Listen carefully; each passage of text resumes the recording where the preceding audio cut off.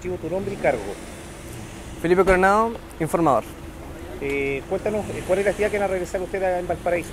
Bueno, en Valparaíso más que nada vamos ya al encuentro final de lo que es el proyecto eh, de Libera, en el cual era de que cada colegio a nivel nacional tenía que crear un proyecto de ley, el cual tendríamos que legislarlo, entre comillas, más que nada debatirlo, para ver en realidad sus posibilidades, su, qué tan factible era y en realidad si es que era bueno para la sociedad en sí.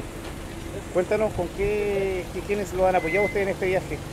Bueno, en este viaje nos han apoyado los senadores y los diputados, sobre todo el diputado Berger, que se ha movido mucho por nosotros, lo cual se lo agradecemos a full. También un poco de apoyo por parte del liceo y obviamente también nuestros padres que han estado detrás de nosotros.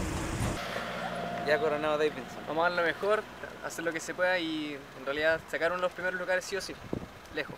Yo creo que va a quedar en alto el nombre de la educación pública, en especial de Valdivia con el Liceo Armando Robles, que vamos a volver con el primer lugar. Mm, espero que ganemos y dejar en alto el nombre del LAR. Vamos a volver con medalla para Sí, el Armando. Robles. Sí o sí, vamos a sacar un lugar. Nada más que eso. Vamos a Estamos muy contentos de representar a, a Valdivia en este encuentro y vamos a ganar. Gracias. Aguante Valdivia y el equipo de Libera.